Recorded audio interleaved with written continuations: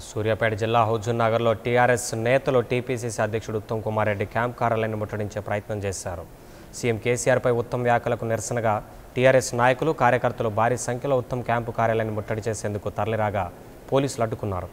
మరోవైపు విషయం తెలుసుకున్న కాంగ్రెస్ కార్యకర్తలు కూడా ఉత్తమ్ కార్యాలయానికి చేరుకున్నారు. అయితే ఘటనా స్థలానికి చేరుకున్న పోలీసులు ఇరు వర్గాలకు నచ్చజెప్పారు. దీంతో టీఆర్ఎస్ నాయకులు ఉత్తమ్ కుమార్ రెడ్డి దిష్టిబొమ్మని దహనం చేసి నిరసన తెలిపారు.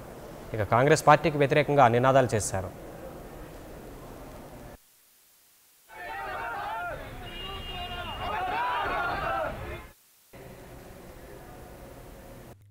For more updates, please subscribe 99TV Telugu.